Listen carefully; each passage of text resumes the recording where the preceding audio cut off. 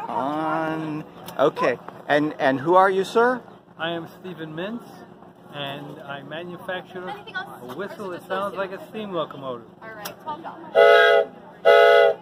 Made entirely in the United States by Jewish people. Now batting number two. And and Wetzel. do you always come to the big train games yes, to, to blow the? tickets.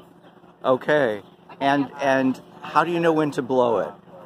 Anytime I want. Okay. Can can I have another sample?